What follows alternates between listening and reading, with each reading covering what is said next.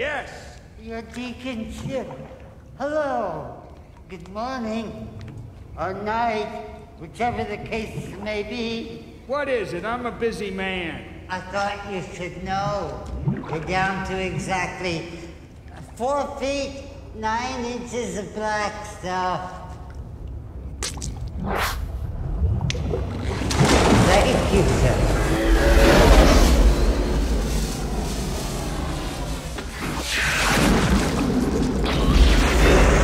thank God.